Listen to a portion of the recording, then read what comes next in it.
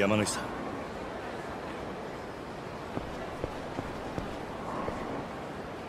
おいしっかりしろ。桐生さんお願いしていた仕事片付きましたか？ああ。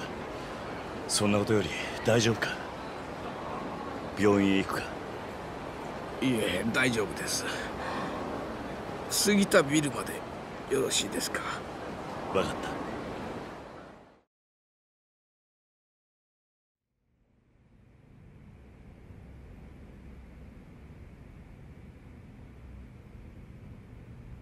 すみませんね。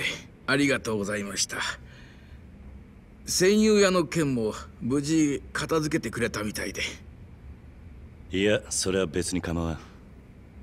それより大丈夫なのか？ええおかげさまで。大した傷じゃないですよ。あいてててて。しかし一体どうしたというんだ？実はうちを潰そうとしている連中がいましてね。そいつらの要求を断り続けていたらやられちゃって。あんたを潰そうとしている連中？もしかして娯楽王とかなんとかいうやつらか？え？さっき向かう途中で絡まれてな。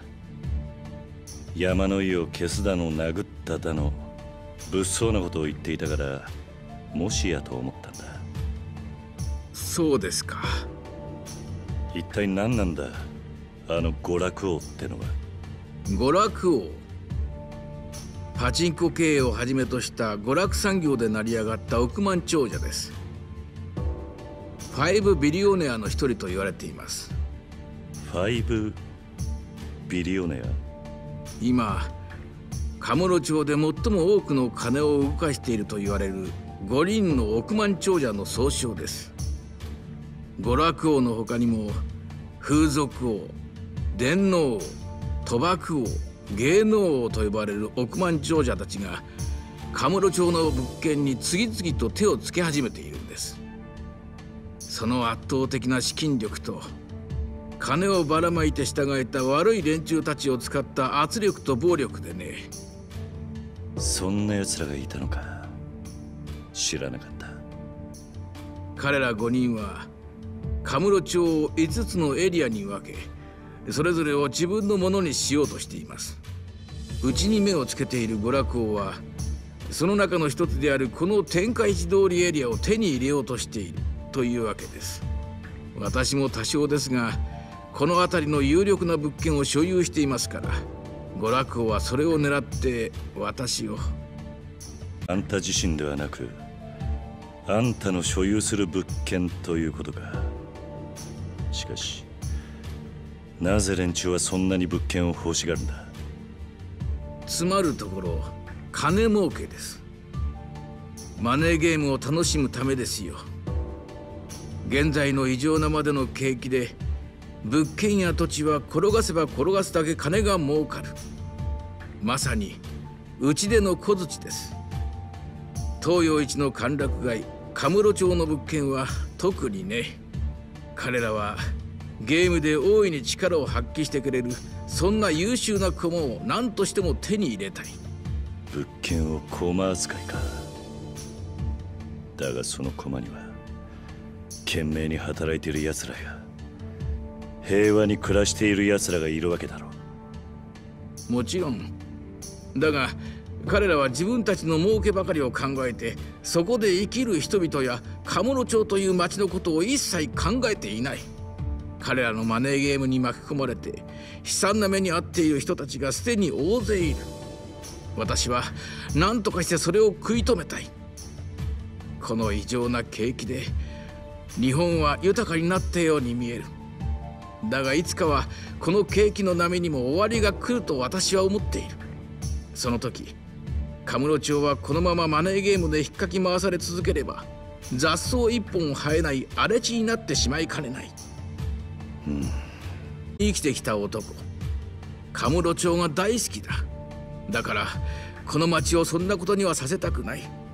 そのために抗ってきたんですがさすがにこの老体には荷が重すぎたようだ。もう限界ですかな。そう言わずにもう少し頑張れないのか。そんな奴らの金遊びのためにカムロ町を荒らされるなんて。たまったもんじゃないぜ。もちろん私もカムロ町をあいつらから奪い返して昔の健全な状態に戻したいという思いはある。だが5ビリオネアには膨大な金があるし暴力に訴えかけることもできる。この老体にはそれがない。くそ。なんとかならんもんなのか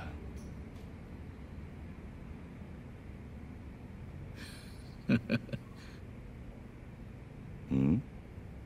一つだけ方法があります。なんだ？それは？桐生さん。あなただ。何？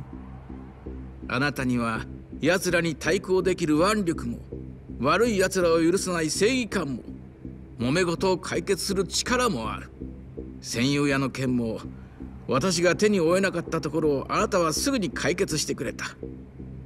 そんなあなたがこの事務所を継いでくれればもしかしたら彼ら何言ってんだ。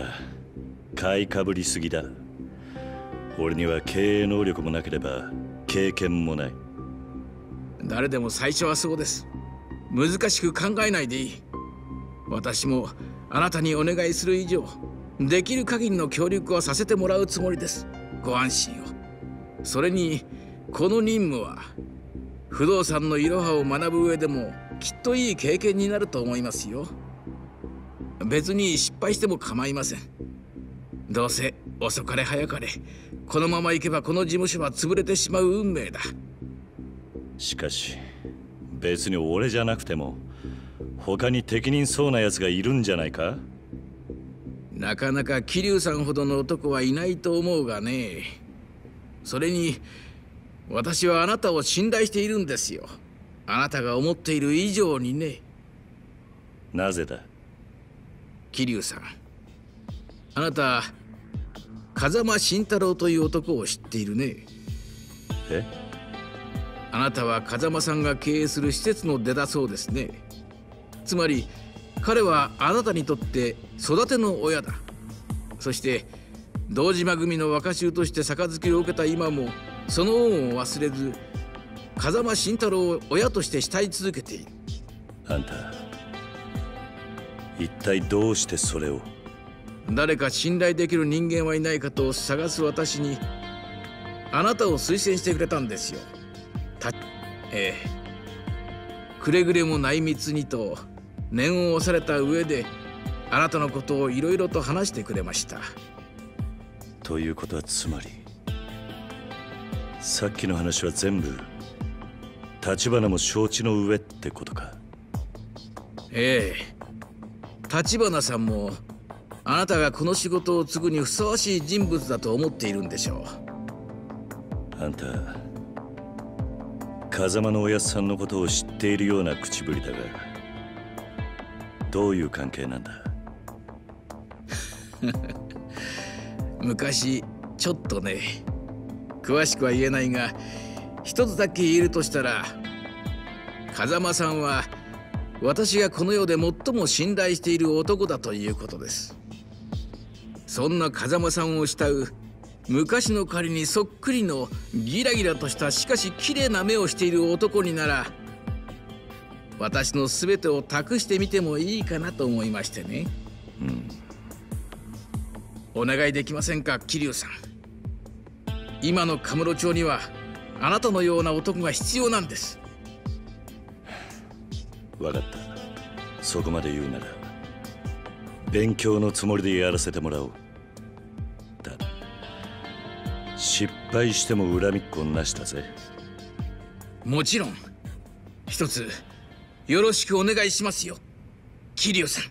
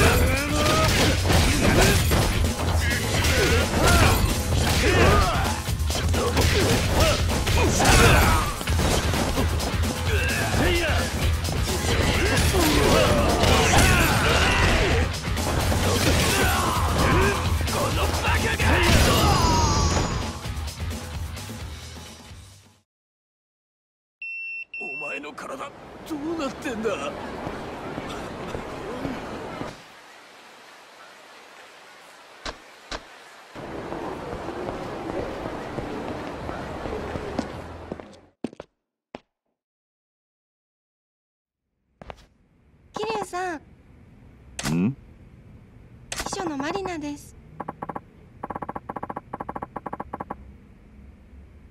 ああああ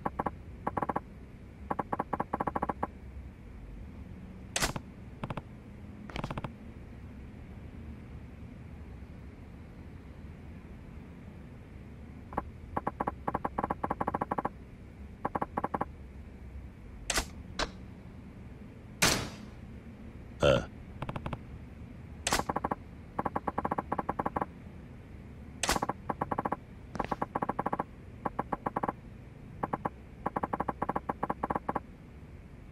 え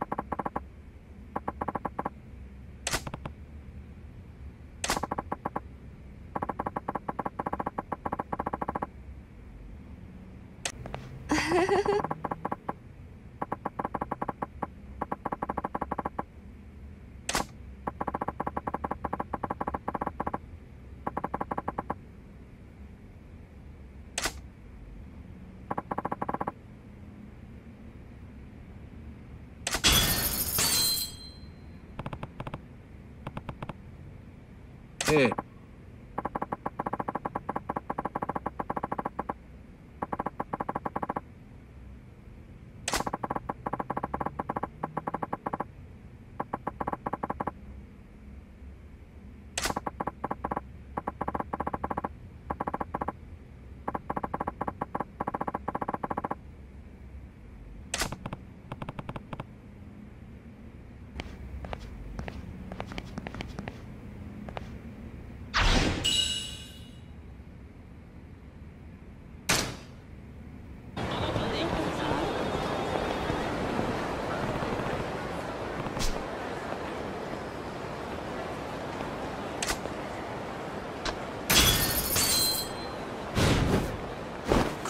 この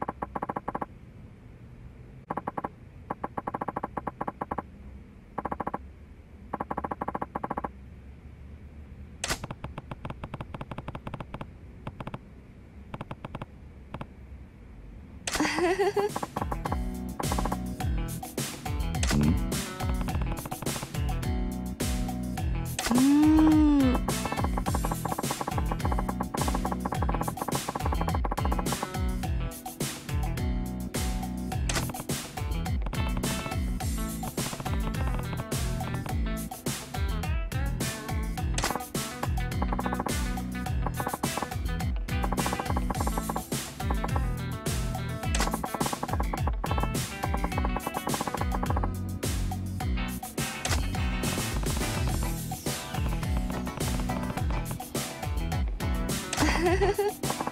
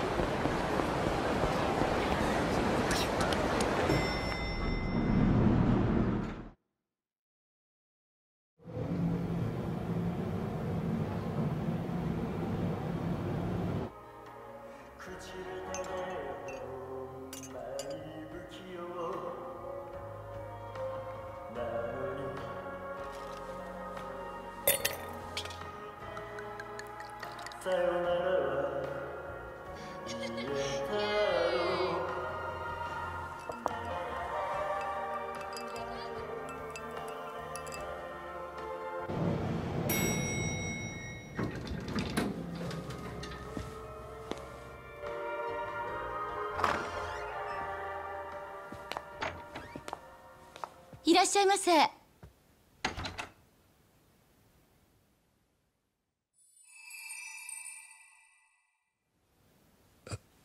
いや。あれ？お客さん初めて？あ。お好きな席にどうぞ。いや俺は待ち合わせで。緊張してんじゃねえよ。錦？よなんでお前がここに？行きつけの店の1軒や2軒俺にだってあるさ。この店は今俺の一番のお気に。なレナ。あら錦山君のお知り合い？あもしかして桐生さん？あああそうだがうわやっと会えた。一度お会いしてみたかったのよ。錦山君酔うとあなたの話しかしないからおい余計なこと言うな。まあい。いとりあえずここ座れよ。桐生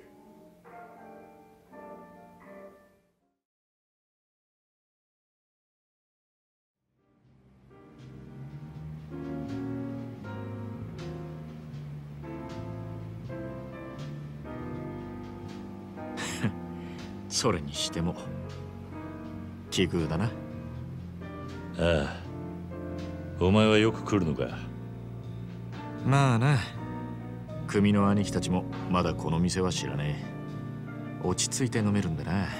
そのうちおめえも誘おうと思ってた。ならちょうど手間が省けたな。そういやおめえさっき待ち合わせって言ってたか？相手は橘不動産の小田だ。先に来てるはずなんだが小田さんならまだ来てないわよ。さあどうぞ。最初の一杯は私のおごり。もともと小田におごられる予定だ。なんだ。あまり乗客じゃないみたいね。なーに。俺たちはこれからの人間だからよ。今度は由美ちゃんにも会ってみたいな。歓迎するわよあいつはまだ学生だよ。でもなんだったらここでバイトさせてやってくれ。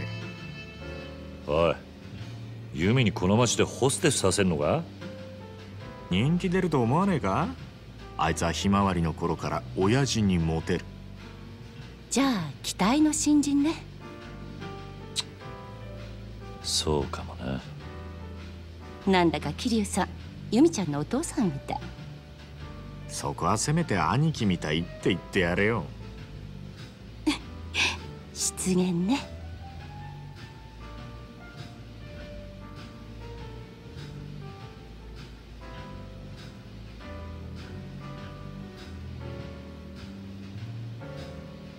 それにしても橘不動産の小田って言ったか？ちょっと遅いんじゃねえのか？どうする？もう一杯飲むか？いや待つよ。先輩をほっといて俺だけ出来上がっちまうわけにもいかないからな。ん？なんだよ。おめえも少しはサラリーマンっぽくなってきたじゃねえか。これくらいで何言ってんだ。ただのマナー。常識だろその常識がねえのがおめえだったろうが。言ってろ。ねえそれならカラオケでもどう？え？いいね。歌う歌う。バカ。それじゃ酒飲んでんのと変わんねえだろつうかカラオケならこの前も。じゃあお前は聞いてるだけでいい。俺が勝手に歌うから。それならいいだろ仕事上がりの時くらい固いこと一個なしよ。歌ってる間に小田さんもきっと来るわ。しょうがねえな。よし。そうと決まれば善は急げだ。ミュージックスタート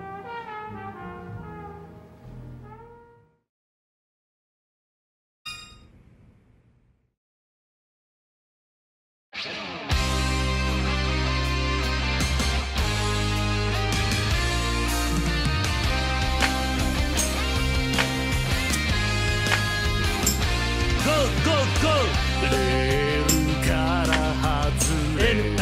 NISIKI 錦。不良品の野良錦。錦。錦。レッツゴーだけど簡単におい。はおい。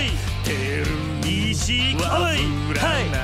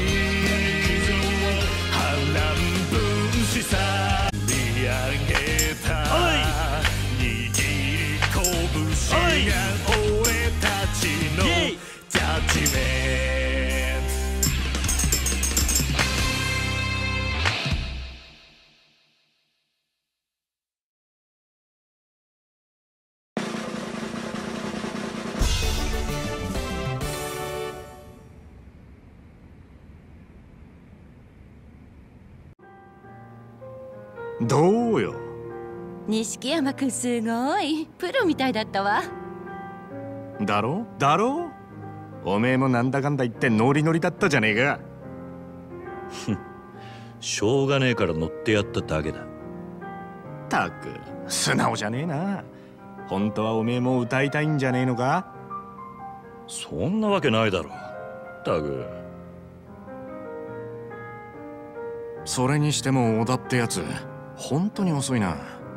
おめえの話を聞く限りそんなルーズなやつとも思えねえけどな。ほんとね。事故にでもあったんじゃないかしら。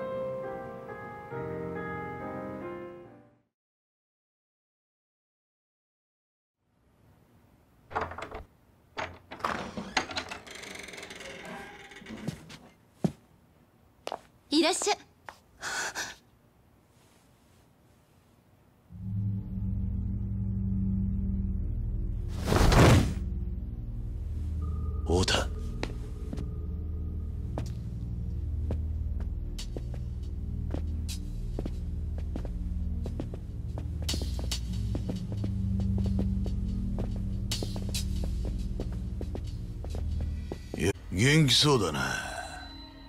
阿波野の兄貴。なんでここに？座ってろ錦山。こいつらに見覚えあんだろ桐生。その説はお世話になりました桐生さん。お前ら戦友やのお前らが小田をやったのか？その前にお前がうちのしのぎ邪魔したんだろ。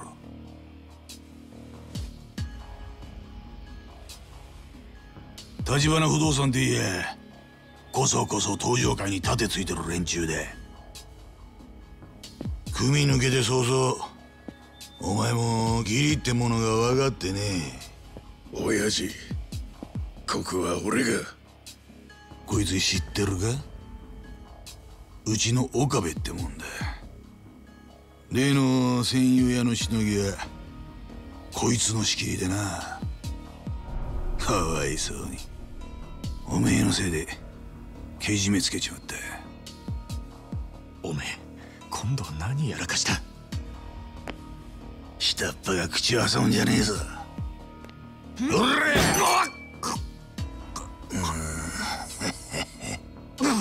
錦。俺がこちらの片木さんと話してんだろうが。錦山よガキがしゃしゃら出てくんな錦山は関係ねえ。こいつとはたまたま居合わせただけです。ああでなくても次はてめえだ。ねえ親父。もうこいつやっちまっていいっすか。こいつの面見てるだけで俺らはもう。おう。片木の皆さんに迷惑かけねえようにな。店の外でやれ。ほら。ここで錦山と飲んだら。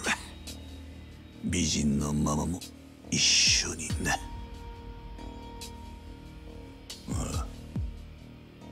来いや桐生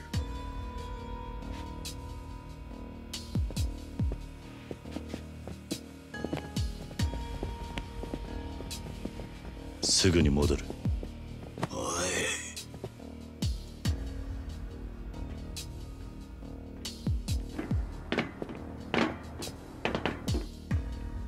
そんじゃこっちはこっちで楽しくやろうやねえ錦山。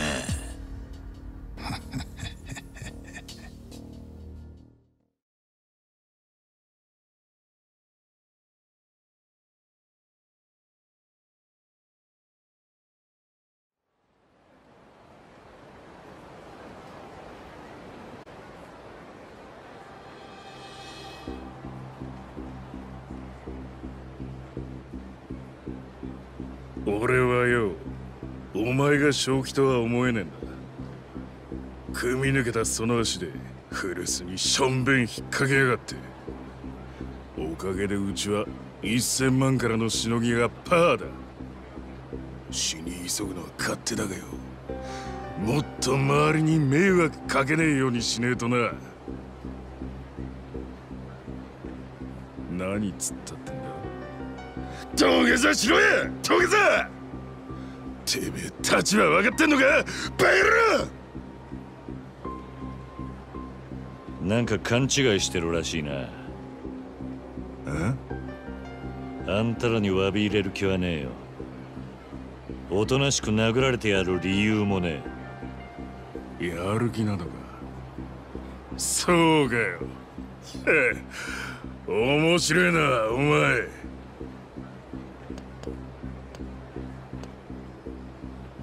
おれやってみろ。早くやれや。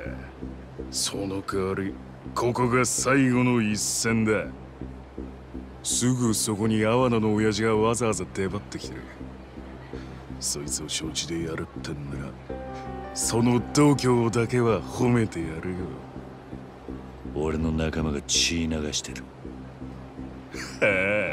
錦山とそれに橘不動産のお前の連れか？あいつはほんの少し可愛がっただけですぐてめえのいところ吐いたよ。てめえ！何が最後の一戦だ？てめえらとっくにそれ超えてんだ。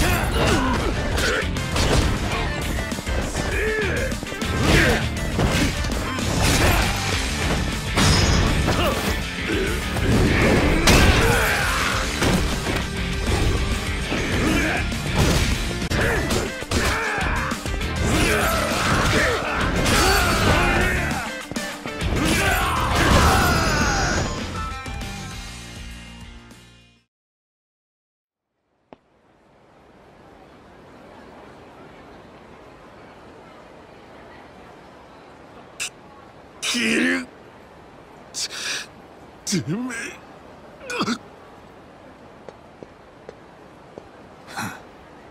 えやるもんだ。クゼの兄貴も手焼くわけだな組抜けてからの方がよっぽどヤクザじゃねえか。面白いもんだな次はあんたか。やってみろよ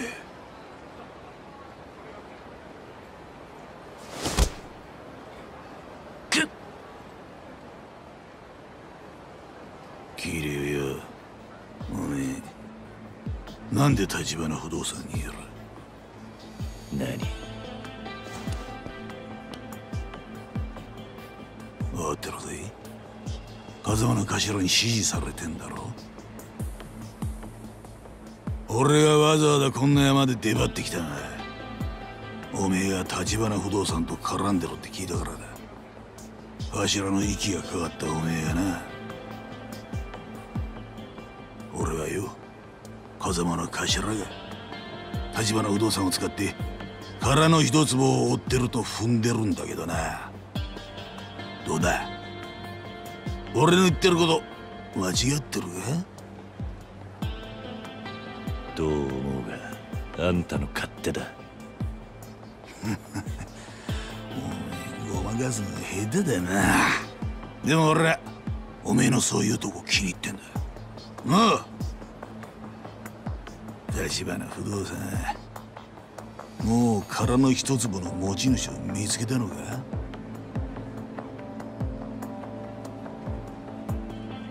そうか。まだか。それでも手がかりこらいは掴んだるはずだ。俺は何も言ってねえぞ。ねえいい。おめえの目を見りゃ全部わかんないおめえは分かりやすくてほんといいや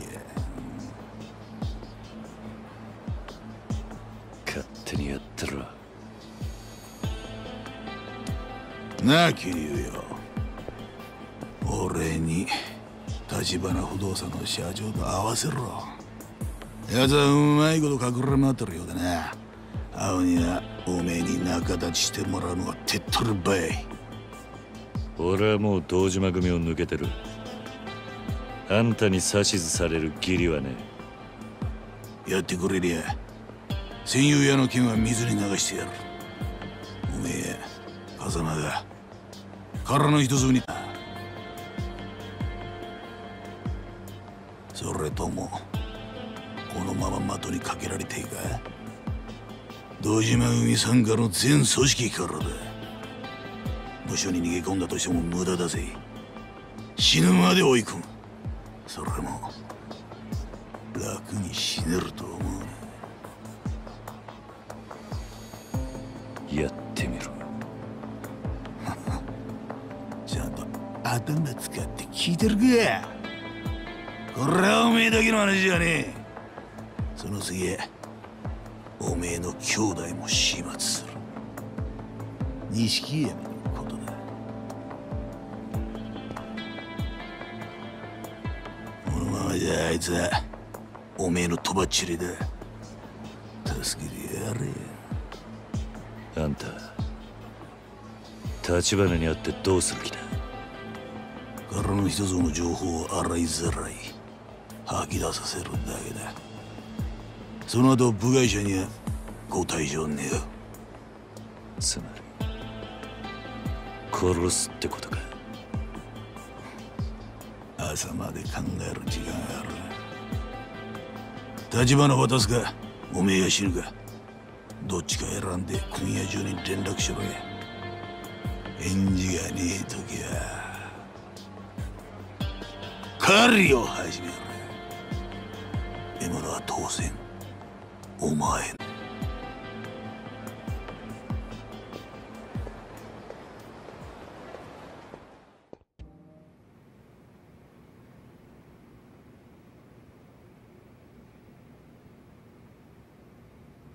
ママもういいよ。迷惑かけた。小田さん。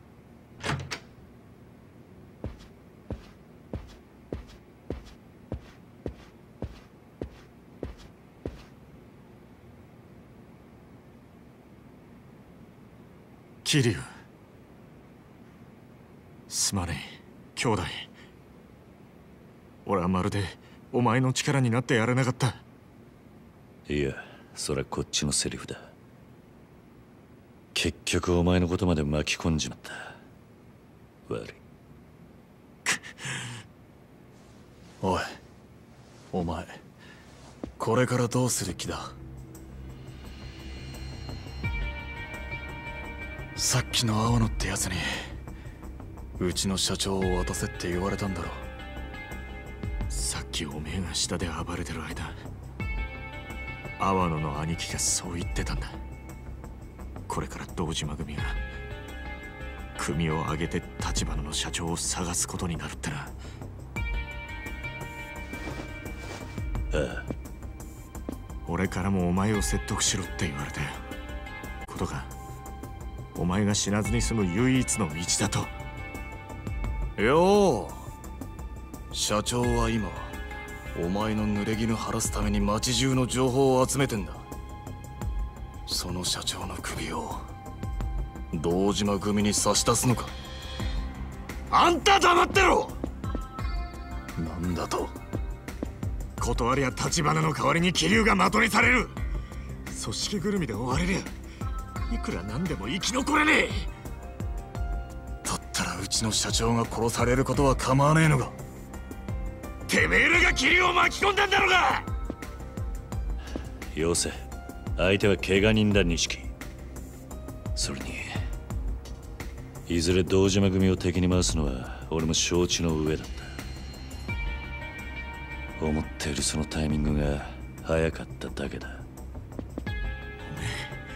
堂島組相手に正面切って喧嘩売るつもりか。バカ言ってんじゃねえ！まさか親さんだってここまでひどくなるとは思ってなかったはずだ！それは確かにそうかもしれない。もともと立花社長は堂島組と正面から勝ち合う前に例の殻の一坪をかっさらうつもりでいた。堂島組にとってあの土地は10億じゃ効かねえ価値があるんだ。それをうまく使えばうちもカムロ町の一角を担う組織になれる。堂島組でさえやすやすとは潰せない組織に。ただこうまで早く堂島組の幹部に目つけられちまうとはな。阿波野の兄貴を甘く見すぎだ。あの人。クセなんかとは比べ物にならねえよ。切れ者だ。とにかく社長と話してみるママ電話貸してくれ。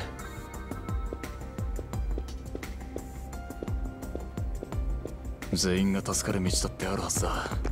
うちが殻の一つもの所有者を抑えりゃ堂島組と取引できる余地もある。だといいがよ。社長小田です。今桐生とセレナって店にいます。ええ。それで堂島組の青野が社長を渡せと桐生に持ちかけてきました。はい。うちが殻の一粒を追っていることにも気づいてます。だから。社長は今すぐ身を隠してください。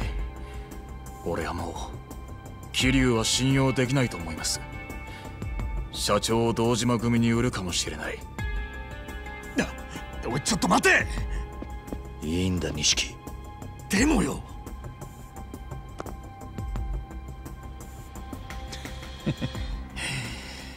これでもう俺にも社長がどこにいるかはわからない。くそ！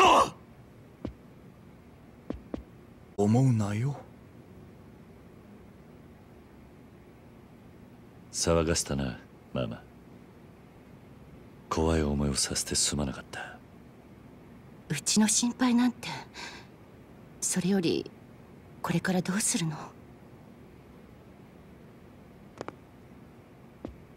おい待て。桐生おめえどうする気なんだよ！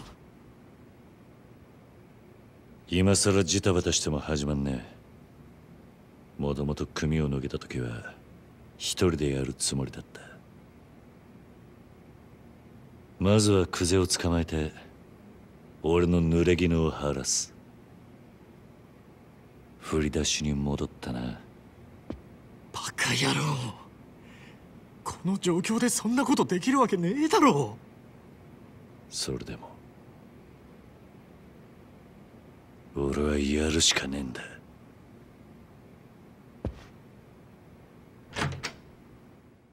黙って財布出せ後悔するなよ。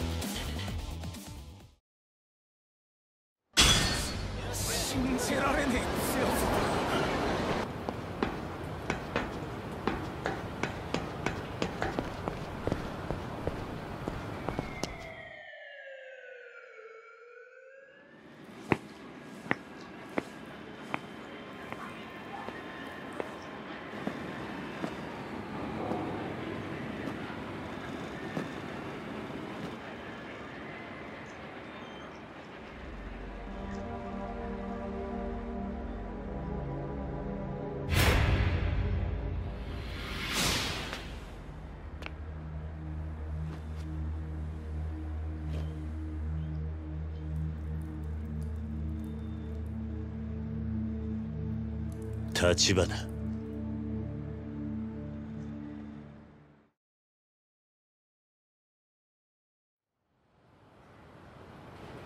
なんでここに？警察が調べ尽くした現場です。もう真犯人につながるような証拠は残っていませんよ。分かっている。うちの情報網を使ってクゼを洗いましたもしクゼがあなたをはめた黒幕であればここでの殺しのために殺し屋を雇ったはずです。ですがクゼの周りにそういう動きはありませんでした。どういうことだ？つまりあなたに殺しの濡れ衣を着せた黒幕はおそらくクゼじゃありません。何？今私が掴んでいる情報はここまでですそれをあなたにお伝えしようと思いましてね。そのためだけにあんたはここに。ええ。ですがご心配なく。私はカムロ町から姿を消しはしません。堂島組がうちの動きに気づくまでもう少し時間がかかると思っていましたがそれでも想定の範囲内です。その割に小田は淡くってたがな。小田さんにもまだ伝えてないことですが実はこの殻の一粒の所有者を見つけました。え？訳あってまだ接触はできていません。ですがその人物をうちが抑え殻の一粒を手に入れれば堂島組は我々に土地を売ってほしいと頭を下げることになる。この土地の価値はそれだけの力を生むんです。ですから桐生さんあなたにはそれまでの間死なずにいていただきます。無理な相談でしょうか？殻の一粒の持ち主はいつ抑えられるんだ？一日ください。ただし他言無用です。たとえ相手が錦山さんや柏木さんであってもあんたを今阿波野に売り渡せば俺は堂島組に狙われずに済むんだがな。あなたがそういう人なら私はこんなところにのこのこ顔を出したりしませんよ。明日連絡します。どうかそれまで堂島組から生き延びてください。桐生さん。